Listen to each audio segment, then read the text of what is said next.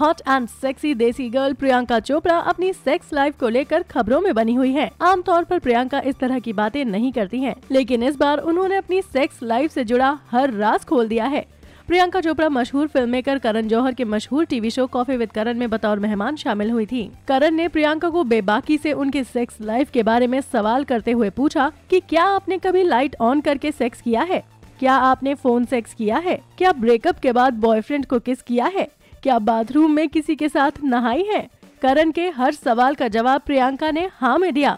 यानी कि Priyanka light on करके सेक्स कर चुकी है, फ़ोन सेक्स कर चुकी है, किसी और के साथ नहा भी चुकी है। साथ ही उन्होंने अपने एक्स बॉयफ्रेंड को भी किस किया है।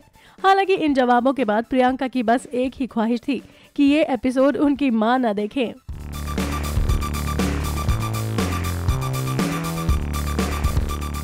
खैर, अभी वीडियो को लाइक करें शेयर करें और अभी चैनल को सब्सक्राइब करें।